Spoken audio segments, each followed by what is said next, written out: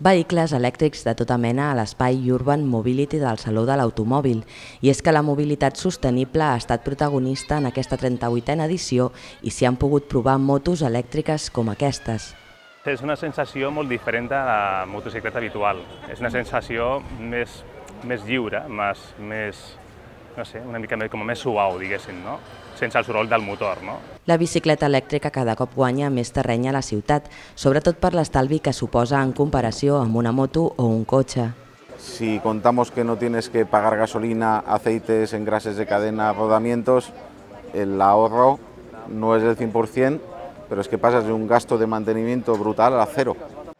Una de les apostes d'aquesta edició són les novetats en matèria de connectivitat al mòbil, com ara aquest sistema d'aparcament automatitzat que un cop desenvolupat permetrà que el conductor abandoni el vehicle a l'arribar al pàrquing, ja que a través d'un smartphone se li podrà donar l'ordre de trobar una plaça lliure i aparcar-hi tot sol.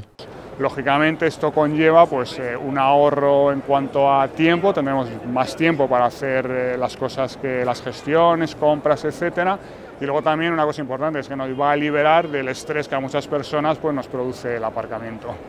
Els accessoris intel·ligents també hi són presents. Podreu trobar des d'un bolso amb connector per carregar el mòbil al cotxe fins a petits electrodomèstics com aquesta cafetera per a l'automòbil.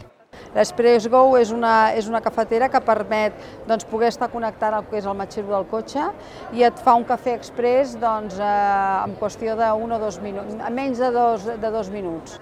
Això està ben pensat perquè si en un moment determinat tens una mica de somnolència, doncs sempre que pots tirar de l'Express Go i fer-te el cafè express. El saló, que acull les novetats de 38 marques de cotxe, s'estarà al recinte Firal de Montjuïc fins al 17 de maig.